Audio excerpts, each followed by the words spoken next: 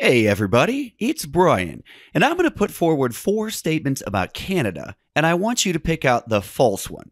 Are you ready? Okay, here we go. Number one, Santa Claus is officially a Canadian citizen.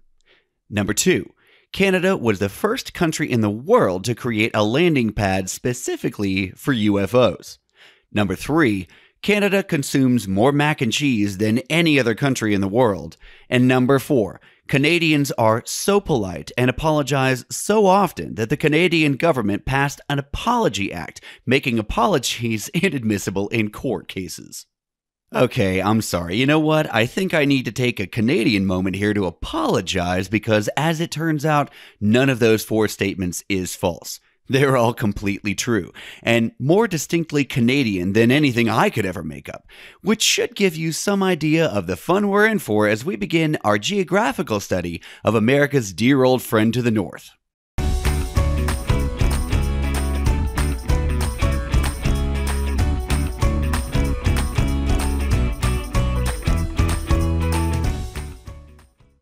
Canada, as we mentioned before, is the second largest country in the world by area, and we know that it shares a variety of physical characteristics with the United States. It's also got water. A lot of water. In fact, Canada has 20% of the world's freshwater supply and 9% of the world's renewable freshwater resources. That fresh water is just one of the many things for which Canada is well known. In fact, so much of what makes it famous is its land. The sheer size and openness and beauty of Canada is at times an awe inspiring spectacle for the human eye. Canada is a huge country, covering 3.86 million square miles of the northern half of North America, just barely beating the USA's size of 3.8 million square miles. As we've learned before, it shares a lot of physical characteristics with the US, but as we've also discussed, Canada is very much its own nation, with its own distinct cultures and challenges and natural beauty. Canada has more lakes than any other country in the world, and some of them just about take your breath away and may make you ask, can this be real?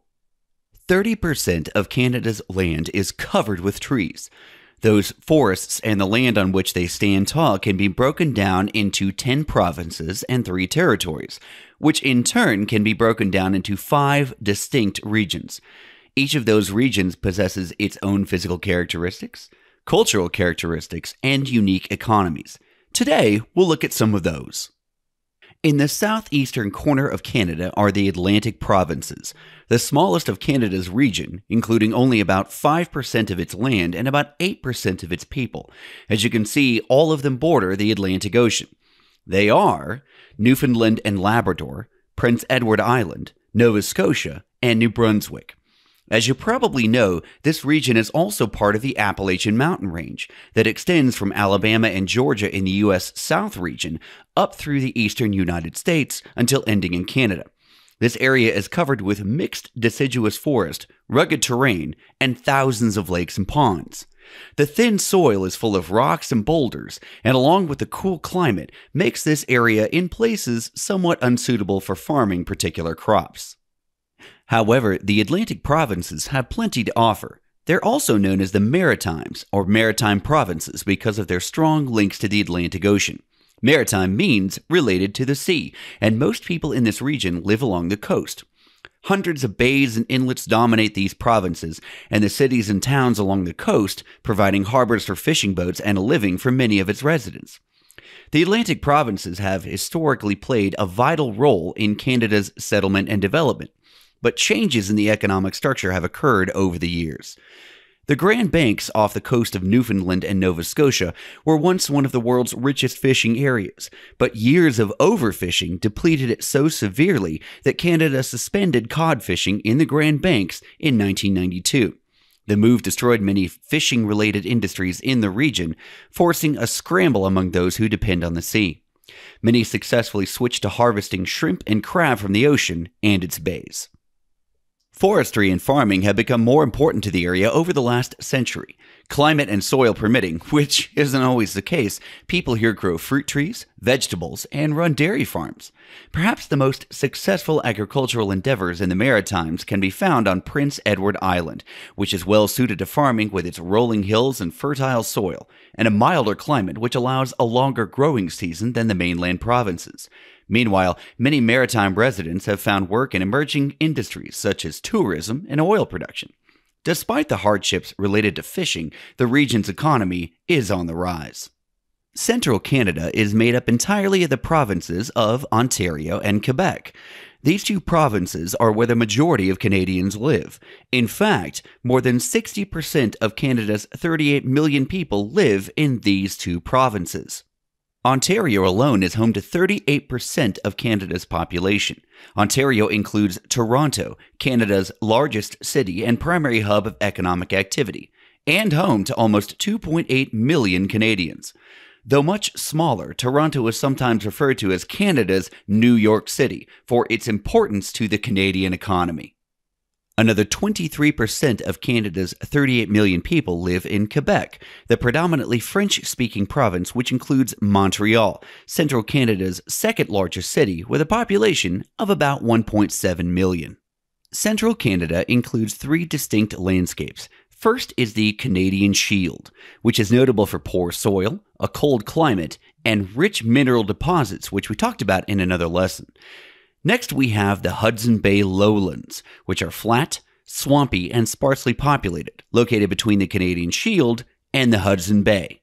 Finally, central Canada includes the St. Lawrence lowlands, marked by rich soil, a mild climate, and more than 60% of the nation's population, to which we referred earlier. This area is located around the Great Lakes and the St. Lawrence River Valley. Benefiting from a location central to Canada, Ontario is blessed with excellent waterways, which greatly augment the transportation of resources and the goods produced from them.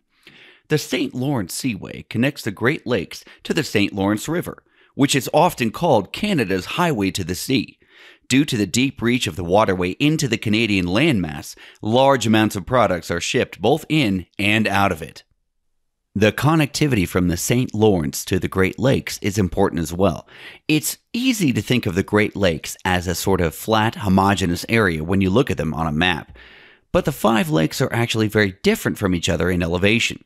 Lake Superior is at the highest elevation, 600 feet above sea level, while Lake Ontario is the lowest at about 245 feet above sea level. The St. Lawrence Waterway has locks to make up the difference in elevation and help freights make the journey.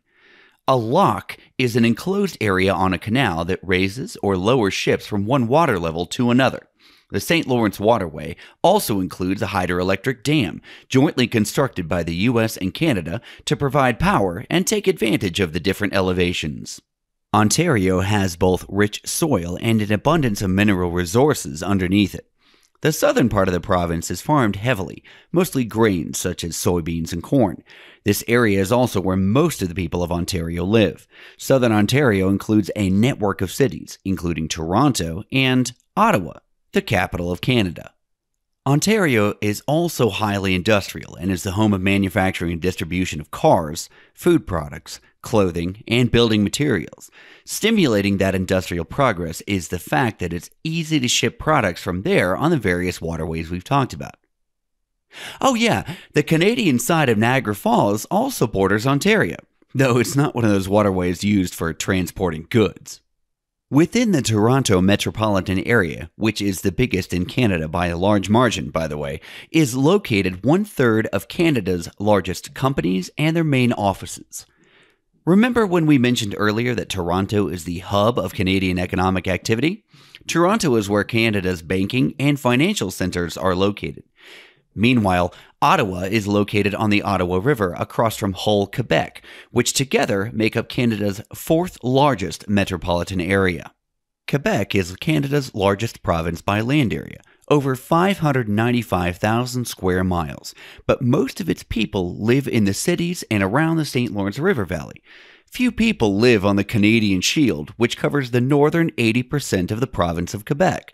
most of that area has remained wilderness, lush forests, clear rivers, and beautiful, if occasionally frozen, lakes. Back down in the southern portion around Montreal, the Appalachian Mountains line the border. Both the Southeast and the Canadian Shield are centers for primary economic activities such as mining and forestry. Farming is important in the fertile plains of the St. Lawrence Valley, particularly various grains and products such as maple syrup. However, many residents have been lured from the countryside into the cities looking for manufacturing and service jobs and a more steady paycheck. Many of those people end up in Montreal. Quebec's biggest city, Montreal, is often described as uniquely beautiful due to its combination of Old World European and modern architecture. Founded in 1642 and located on the St. Lawrence River, Montreal grew up after hosting Expo 67, the World's Fair, and then the Summer Olympics only nine years later.